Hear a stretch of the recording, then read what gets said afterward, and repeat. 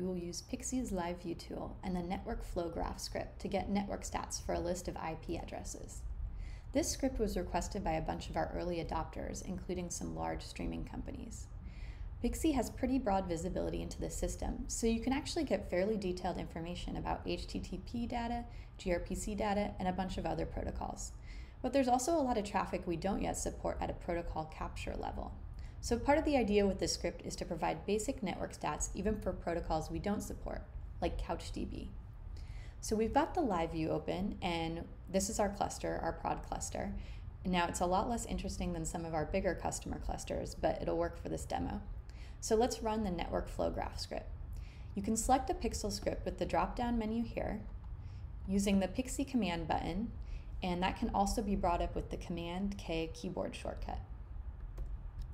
So we'll find the net flow graph.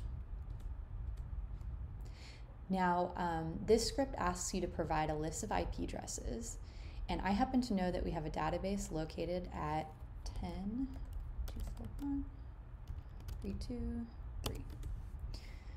So I selected that and this will show me all the network information for that IP. So we can do things like group by pod, service, or namespace. So let's group by service. So here you can see all of the services that are talking to our database, which is this uh, blue IP address right here. Um, so PLC is the namespace for our cloud. So here's all of our services. And the thicker, bolder lines suggest more traffic. And when you hover over the edges, you can see what all the traffic is.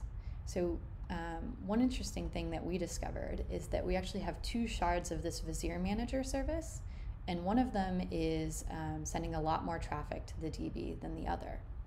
So that's the nice thing about this graph is that you can quickly get a high level of visibility about the whole network and then use that to debug issues. And part of the Pixie approach is to have these open source scripts where teams and individuals can contribute new scripts or visualizations.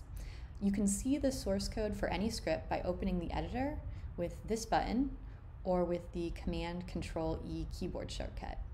And we'll have a, um, a tutorial coming soon about how to modify these PxL scripts or write your own.